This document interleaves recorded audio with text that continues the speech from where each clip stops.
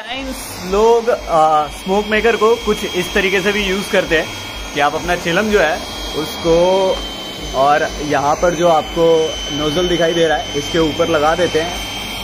And थोड़ी देर के बाद क्या होगा कि you will be able to see कि यहाँ से बहुत ज़्यादा स्मोक आना शुरू हो जाएगा।